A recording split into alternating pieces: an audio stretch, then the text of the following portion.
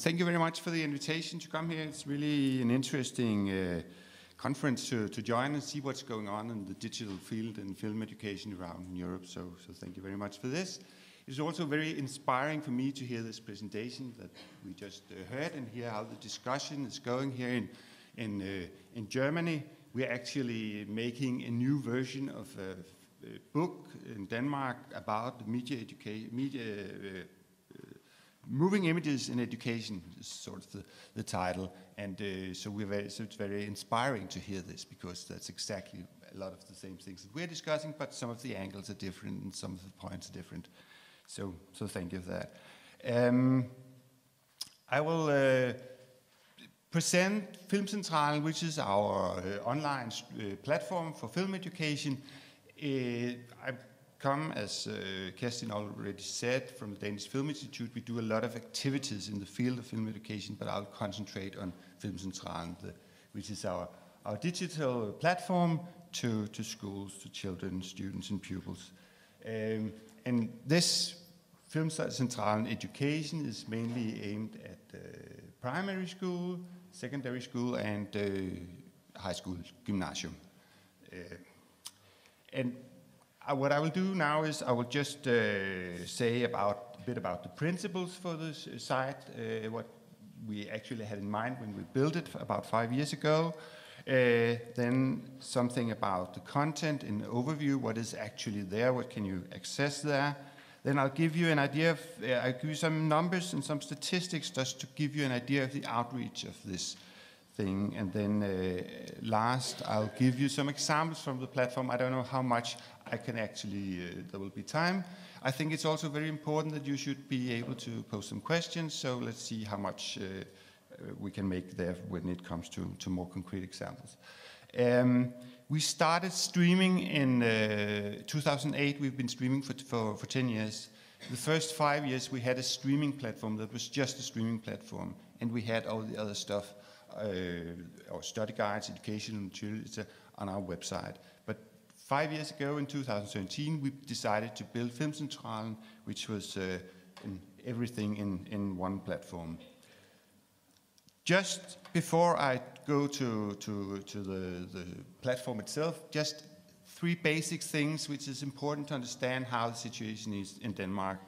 First, in Denmark, the law says that 25% of all funds public funds allocated to film should go to children and youth film. Uh, and that means there are actually quite a lot of films to work with. And, and the other thing is that out of the three uh, consultants who are actually deciding which film projects should, should have money, one of them is in, uh, concerned to, to, to children and youth. And the last thing, and that's perhaps the most important thing about for, uh, uh for Filmcentralen, is that for all short films and documentaries supported by public funds, the Danish Film Institute has distribution rights for the educational market. That means every time a new short or documentary is made in Denmark, we can distribute it to the schools right away after a very short holdback period. So uh, that's, of course, basic, basically to know this because this is what makes it possible for us. Uh, As I said, we built Filmcentralen in 2013. We had some basic principles. The first one was we wanted to gather everything in one platform. That means that the, everything that is relevant for teachers, students, pupils should be there in, in this one platform. I'll show you an overview of the content a bit later to give you a better impression of, of what that actually means. It was important that it should be working on all standard media platforms, including mobile devices, works in everything, smartphones, tablets, iPads, Macs, PCs, everything. Uh, and in Denmark, I think uh, compared to the international level, uh, the schools are pretty well equipped when it comes to, to digital uh, equipment of all kind. Um, so, so, so that's not a barrier for us that, that they don't have the devices out there they, they have. Um, then we wanted unlimited access for teachers and pupils, students to everything. Um, and that also means it was important for us they should access from schools, but they should also access from home. It's important that a teacher can watch a film at home to prepare themselves. It's important that they can give students uh, film as a homework, say, watch this film and come back at school, let's discuss it. We don't use, have to use time on watching the films at school. Can, you can watch this at home. Um, and what makes this possible is that in Denmark we have this unilogin thing that's upset there, which is uh, a login that is uh, uh, especially for the educational purposes. It's the, the, the, Danish Ministry of Education that administrates it. That means all students, all teachers have one login, and you can join this login, and that's very uh, effective because they also always uh, remember it, but it also protected because it's the same login they use when they should do their examinations or things like that, or they should communicate or things like that. So they're very aware that this is their personal login, so it's not just something you just give away. Um, and then we wanted to have educational resources in a new design with new learning facilities, and that is very, and of course that's a that's a big thing, uh, and there's a lot Im implied in that in, in that line because basically it's about using digital possibilities to make more interactivity, more creative tools, things like that. I'll dig a bit more into that uh, later. Then we wanted personal login. So when you log in with your Unilogin, you should not only be able to watch films, but you should also be able to make your own film lists and clip lists, and you can share them. I'll show you an example of what this actually uh, looks like. Uh, and uh, last but not least, we wanted the platform to be just for not just for the Danish Film Institute, but for the whole film educational network uh, in Denmark. So what is actually content down uh, right now? In headlines, yeah, we have this streaming service. I'll give you some uh, some uh, numbers afterwards. But the streaming side, of course, is important. Most of the streaming uh, films are shorts and documentaries, as I explained to you before. We do have some feature films from our school cinema program. We have to pay for them, so we don't have that many. I think we have about 50 uh, feature films, um, but we have. Then we have a lot of different educational materials, study guides, some very short, some very long, some concerning one film, some concerning more films, very uh, big variation of this. Then we have themes and articles that relate to films, to educational material. then we also have the whole access to our school cinema program that is, uh, I think, pretty much similar to what you're doing here in Germany with screenings all over the country. But the, and of course, this is going on locally, but the way you access, you see the programs, you get the links to where you join in and everything, it's on the uh, Film Central as well. And the same goes for Film X, which is our interactive film studio in, uh, in uh, the Danish Film Institute, where uh, uh, pupils and students can come and make their own film. Um, it's also here on Film Central, you get access and you have the videos that explains how, how this goes on and things, things like that. And then we have an interactive film encyclopedia for elementary school and gymnasium. I will show that, uh, an example of that a bit uh, later. And then we have this, uh, this site called Film Education in Denmark about the network. We have links to research reports, uh, books and other, other, stuff that relates to film education, although it's not all uh, made by the, the, Film Institute. And then we have a news, newsletter section. So that is the, the headlines for what is actually there. I'll just give you uh, some figures, some numbers to, to get give you an idea of how is our outreach and how things have developed over the, the, the years that we have been doing this digital uh, strategy. And just to, uh, to have something to compare with, you should know that in uh, Denmark we have around 700,000 pupils in elementary school. We have around 150,000 pupils in uh, gymnasium. And right now we have 1,776 films I think it's a bit higher than we add films all the time. We add about 50 to 100 films uh, each year. And that, yeah. Um, and of course, there will be a lot of films which are not especially relevant uh, for, for education. Because everything, all short documents will go there. But that means also that, of course, it's not all that we make educational material upon. That's only what we think is, is uh, very re uh, relevant. But it means that all the films are there, so also you have a film about a very rare subject, it's available if somebody should, should, uh, should want to. Uh,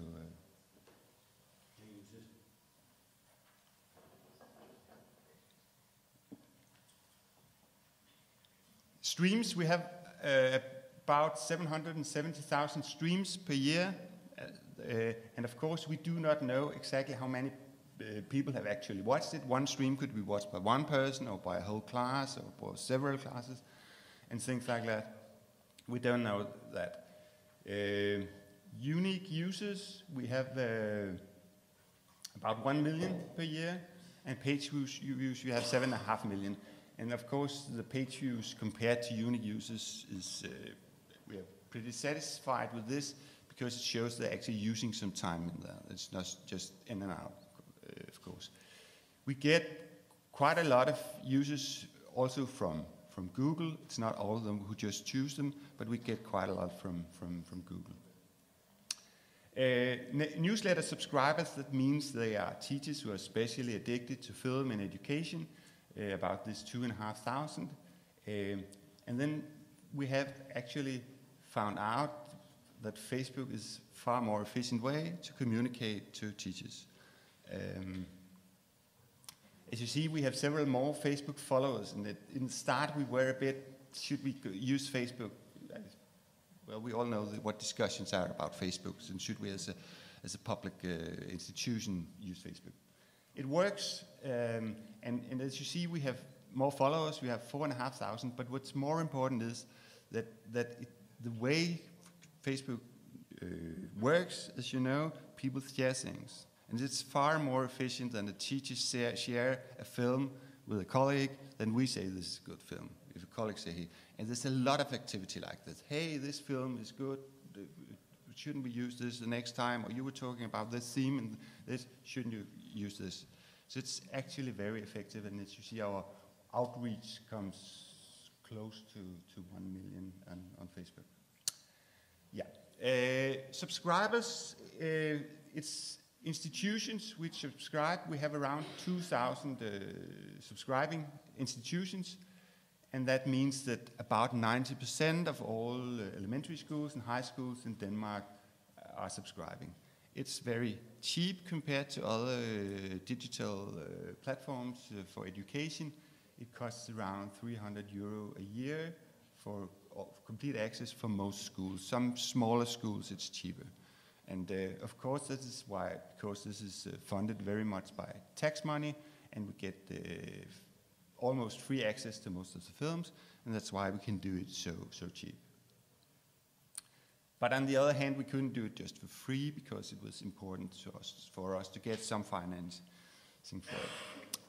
Yeah, I think this is the basic uh, statistics here just a few uh, slides to give you an impression of how things have developed. As you said, we started in 2008, 2013, we built the new platform. and as you can see, when we changed platform, streams went down a bit, but it has gone, gone up again. And it seems it has found something of a level now. It doesn't increase that much anymore. Um, but if we go on to the study guides, we have only numbers for the time when we have had Filmcentral for the five years. And it has really increased this one. And of course, this is a very important development for us because it shows us something about not just are they watching the films for entertainment or for fun, but are they actually working with them? Are they actually using our, our uh, study guides? Uh, so that's uh, very satisfactory, and we I'll always say we have developed the way we make study guides pretty much in the years because we also had to learn and experiment how do we actually use the new facilities on, uh, on this platform. Yeah, and this is just the development of unique users. The dark blue is elementary school, the light blue is gymnasium. Yeah, that was the statistic and numbers. Uh, just I'll just give you a few slides on what, this, what does it actually look like in there. This is uh, the front page uh, up here. I have, can I point with this? No.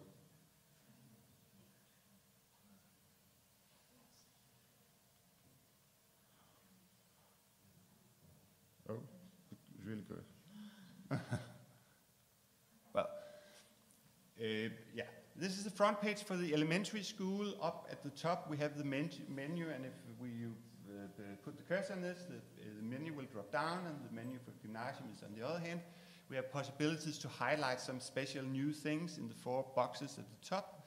And then we have the, the access to the film database, we, to the educational material, and to the, to the film encyclopedia.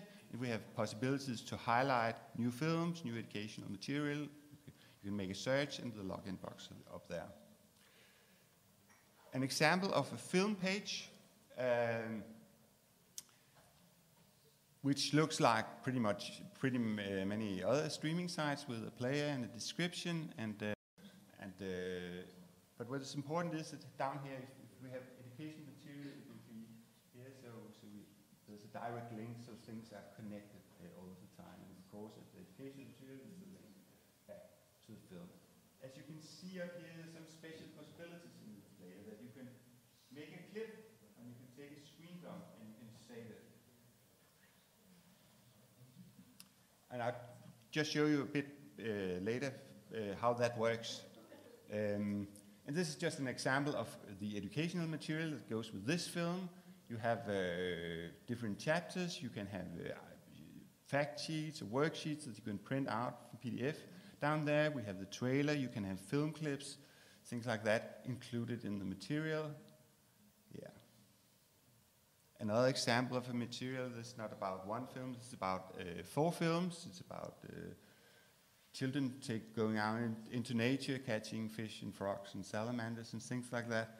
Um, what you can see about this is we did this in partnership with the Copenhagen Zoo. We do a lot of those partnerships when we're doing uh, when we're doing uh, study guides. It's very important for us that each time we work with film, with subjects that we don't necessarily know very much about because we're a film institute, we take partnerships acts. So when we work with animals, we work with zoo. When we work with refugees, we work with Red Cross and things like that. Very important, these, these partnerships. And, and actually we, uh, we experience that most uh, organizations out there are quite happy to, to include film, to work with film and to, to make partnerships about this thing. Yeah.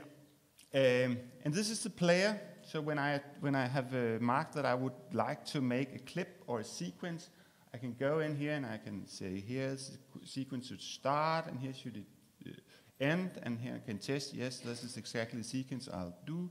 And then I can save it. And when I've saved it, I get this uh, clip list or film list. So I can have this. This is a very short one, just with one clip and two whole films, uh, but you can make it longer and you can have uh, several uh, lists uh, with different, different titles, and you can share them with your students, fellow students, and your, your teacher or things like that. Yeah, and this is the film encyclopedia. And this has actually become a bigger success than we had actually believed and hoped. We have here an encyclopedia about uh, film language concerning about 100 uh, basic filmic terms that are explained. This is about cross-cutting and parallel cutting, and it is explained in the text how does this uh, actually work and how, why do you do this, and this, then there are examples uh, of how does work with clips from films which are on the, on the, on the streaming side. This encyclopedia also works as sort of a backbone for all our other material.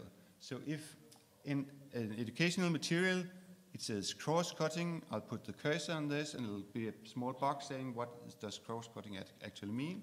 And there's a link and if I uh, press on that link, I'll get over here to get the full explanation of this.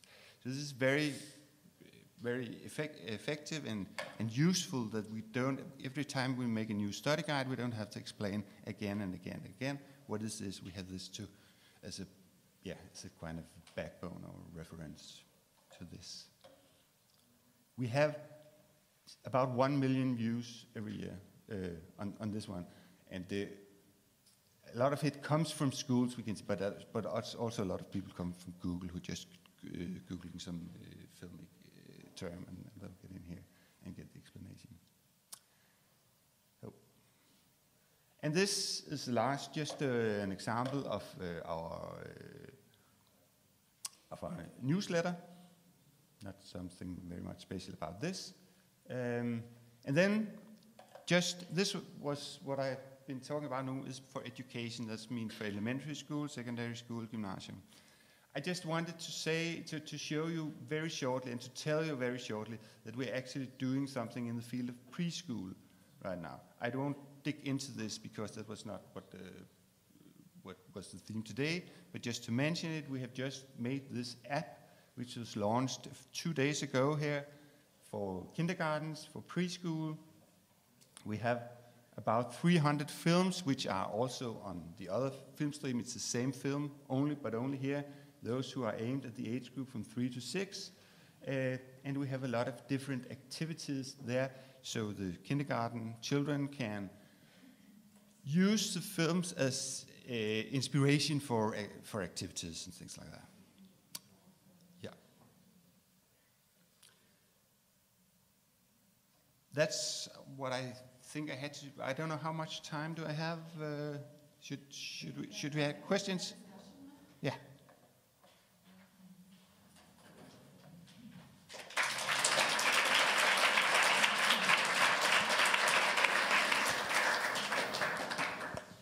Ja, vielen Dank, Martin. Ich bin ja jedes Mal beeindruckt, wenn ich das höre. 25 Prozent aller Gelder für Filmförderung müssen für die Filmbildung ausgegeben werden und dass das auch im Filmförderakt sozusagen festgelegt ist.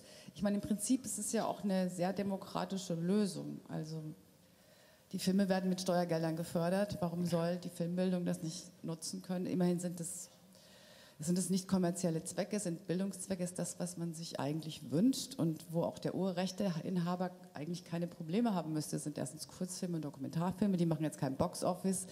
Es ist wirklich eine nicht kommerzielle Verwendung. Warum funktioniert das bei uns nicht? Das frage ich jetzt nicht Sie, vielleicht eher die Kollegen. Ja. Aber noch eins, eine Sache vielleicht noch. Wie wird das Ganze, ähm, wird es zentral gehostet? Wer betreibt diese Plattform? Ist es mit Schwierigkeit? Ich stelle mir das immer sehr schwierig vor, wenn 700, ich weiß nicht, 2000 Institutionen sind angeschlossen und 700.000 Nutzungen. Funktioniert die Technik da immer so einwandfrei? We have two, we have two important partners with the Danish Bibliographic Center actually doing the hosting of all the films, all the back end of it. Mm. And they, they're also doing a streaming site for libraries. Actually, we made the, the, the first one we made were for both libraries and schools, so that was why we made this connection. But they're doing this, and, and, and part of the fee they get, so they're just doing, and they take all the support and all the administration, so all connections from schools about subscribing, support, technical support, it's their business and they get half of the fee, so to wow. speak.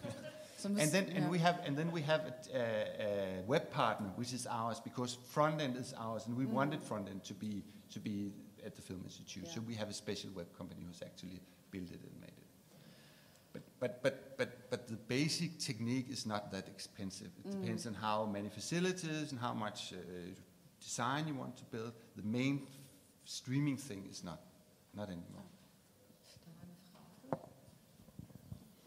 Ja, vielen Dank für Ihren beeindruckenden Vortrag und die Vorstellung dieser tollen Seite. Ich habe mir das im Vorfeld auch schon mal angeschaut. Äh, sowas haben wir hier bei uns leider nicht, ähm, beziehungsweise nicht in so geballter, starker und vor allem stark finanzierter Form. Also ganz großen Respekt auch an die dänische Regierung, dass sie sich traut, sowas zu finanzieren.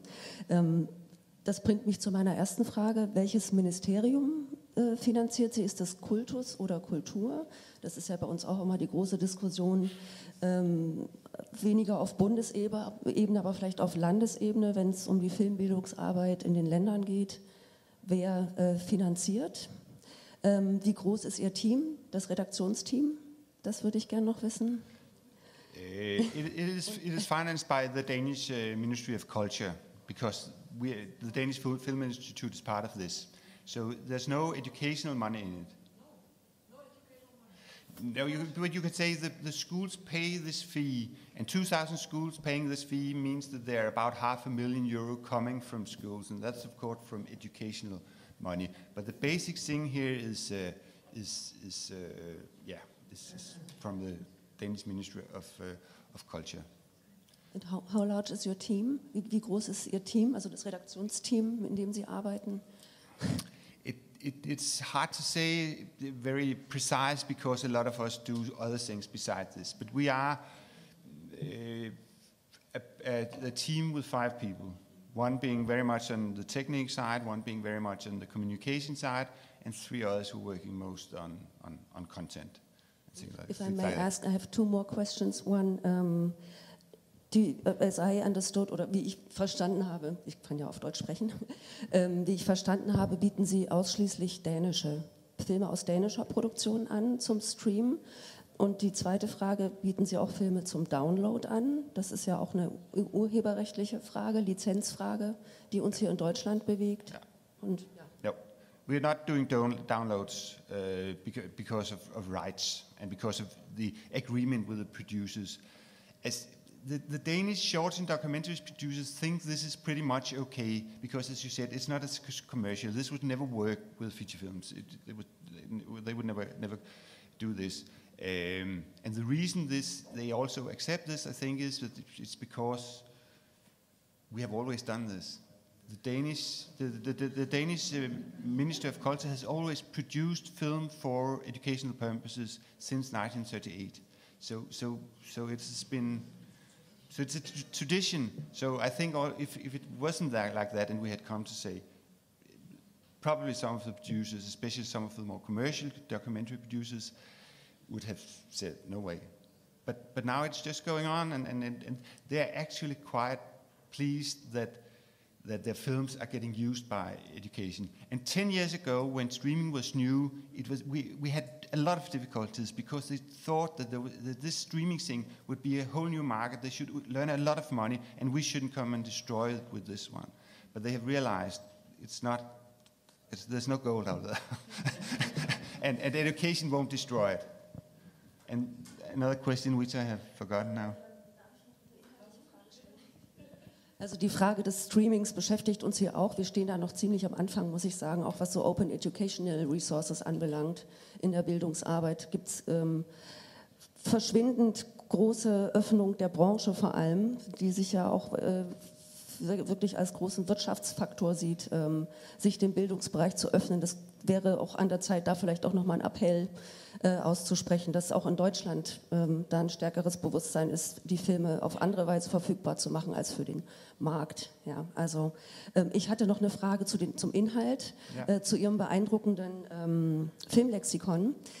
Ich habe gesehen, dass da auch Audio-Files hinterlegt waren. Waren das Filmausschnitte oder arbeiten Sie auch mit sowas wie Tutorials, dass Sie sozusagen eigene Clips erstellen, die Film erklären? In, in, the, in, the fil- in the encyclopedia, it's just clips from the films as examples. We do not uh, produce our own thing.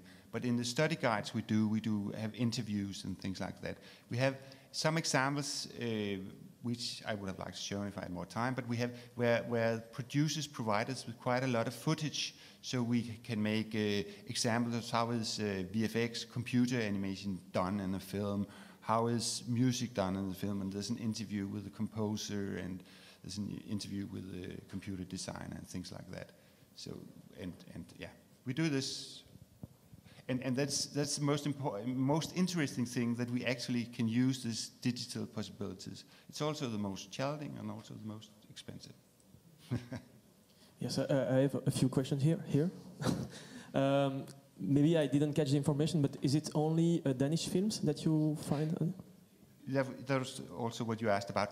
Yeah. No, it's not only Danish films, but it's mostly Danish films because we get the films which are funded by the Yeah. Danish, uh, the Danish film industry. What, what is maybe what is the proportion between uh, Danish and foreign films?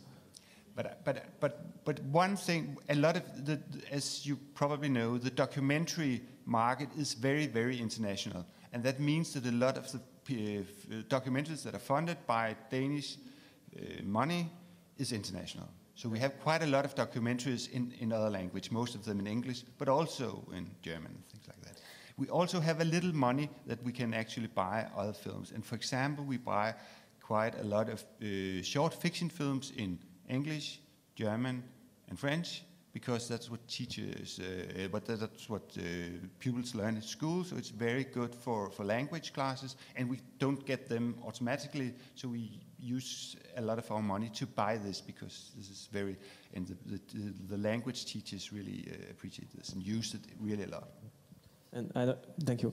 I had another question. Do you create a link between uh, viewing films online and trying to make young youngsters go to cinemas, or is there some strategy between those two publics? Do you try to mix them, or or is it two things completely apart? We it's, it's a, I think it's a difficult question to, to, to, answer because, of course, things are linked together, and we work also together with, with, with the archive. But uh, and we have some pro projects which are, are, linked to this. So, so I think it's. What? Yeah. Yes, not, not, not to the archive, but uh, is, do, do, you see uh, in the behavior of the viewers uh, an appetite to go to see movies on a big screen in film venues, or is it just uh, a strategy based on uh, viewing films online? We because the industry, I mean, the, the, the money that goes to uh, online viewing is also uh, going to producing films that are not viewed online. So that's. Yeah. We, we have a school cinema program which is very much based on, on, feature films in cinemas, which we do in cooperation with cinema. Some of these film, feature films we also buy and put on here after they have played or uh, finished their life in school cinema. So there's a, definitely a connection there. Uh, yeah. Ich wollte zwei Anmerkungen machen. Ähm, die 25 Prozent, wenn ich das richtig verstanden habe, die gehen nicht in die Förderung von äh, Bildungsmaßnahmen, sondern in die Förderung der Produktion ja. von Kinder- und Jugendfilmen. Ja. Das ist ein riesengroßer Unterschied zu deutschen Verhältnissen. Das drückt auch eine besondere Wertschätzung für die Produktion von Kinder- und Jugendfilmen aus, was eben auch entsprechend tolle Filme dann hervorbringt.